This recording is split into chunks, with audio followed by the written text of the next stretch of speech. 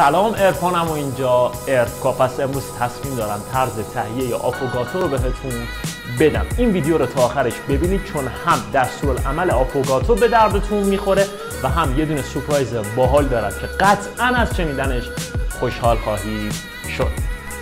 آفوگاتو از دست دسر نوشیدنی هستش که علا رقم مزه بسیار جالب و باحالی که داره با توجه به آموزش امروز می‌تونید خیلی ساده درستش بکنید و از مزه جالبی که داره استفاده بکنید و کیک کنید.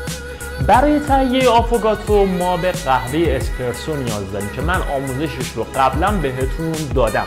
لینک آموزش تهیه قهوه اسپرسو توی خونه رو پایین این ویدیو براتون می‌ذارم که حتما برید ببینیدش. اگر احیانا توی خونه نیستید و توی کافه می‌خواین کار کنید که با ماشین اسپرسو می‌تونید قهوه رو آماده بکنید که اون کاملا بحثش جداه و همینطور می‌تونید از اون قهوه های فوری هم که توی خونه هاتون دارید استفاده بکنید. اما پیشنهاد من اینه که سعی کنید حداقل توی خونه هاتون از اون مکوپات ها استفاده کنید و قهوه رو با اون تهیه بکنید.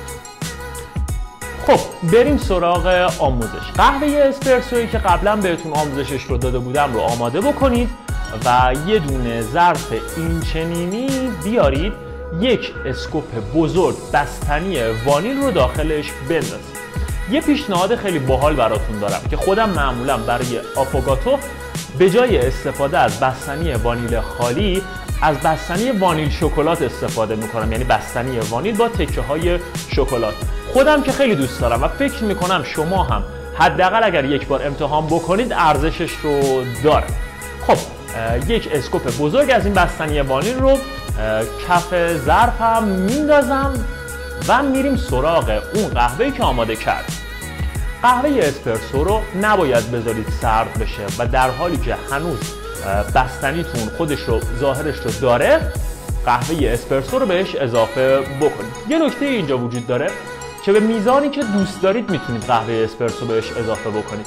اما پیشنهاد من یک کاپ یا نهایتا دو کاپ هستش و بیشتر از این دیگه نیازی نیست و همین نهایتا دو کاپ کفایت می‌کنه. حالا بعد از اضافه کردن قهوه اسپرسو به روی بستنی مقداری از این تیکه های شکلات رو هم روش میریزیم.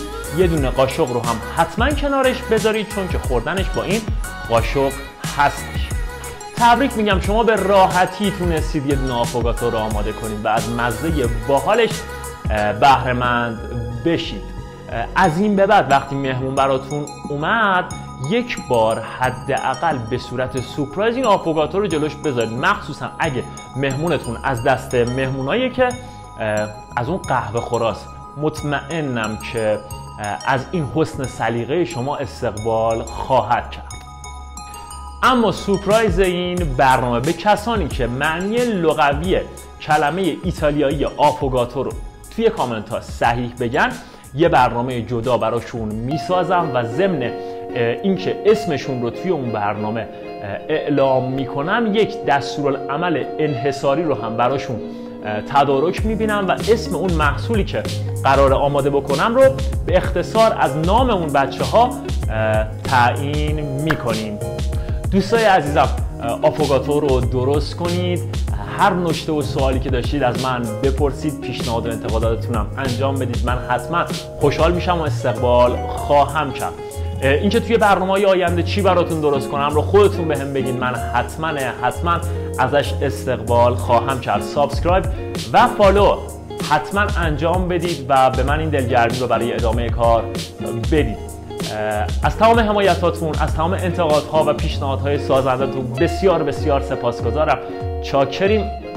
خدا نگهدار.